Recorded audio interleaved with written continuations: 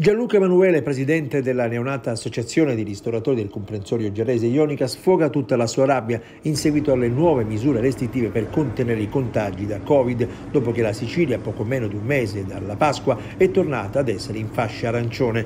Ormai siamo diventati carne da macello, afferma Emanuele. Siamo nuovamente nelle condizioni di un anno fa, con il comparto ristorazione fermo, le attività chiuse e soprattutto senza ristori. Siamo di nuovo nella stessa condizione di un anno fa, esattamente esattamente un anno fa. Siamo di nuovo fermi, siamo di nuovo chiusi, siamo senza ristori, ci hanno costretto e abituati a lavorare solo a pranzo, soprattutto nei fine settimana. Ci eravamo adeguati in tutto e per tutto e all'improvviso ci richiudono tre settimane prima di Pasqua, senza avere una certezza né di riaperture né di ristori chiamateli come vuoi, sostegni, aiuti, però penso che per le aziende come le nostre, per le attività come le nostre, per le palestre, per le altre categorie devastate, sarebbe stato più giusto dire questi sono i nostri aiuti, rimanete chiusi, superiamo il periodo di Pasqua. Ma tre settimane prima di Pasqua credo che sia stato un po' eccessivo chiuderci definitivamente, anche perché i contagi sappiamo che sono scesi, quindi non si sta capendo più niente. Vorremmo capire cosa hanno in testa, cosa vogliono fare questi nostri signori governatori, amministratori nei nostri confronti.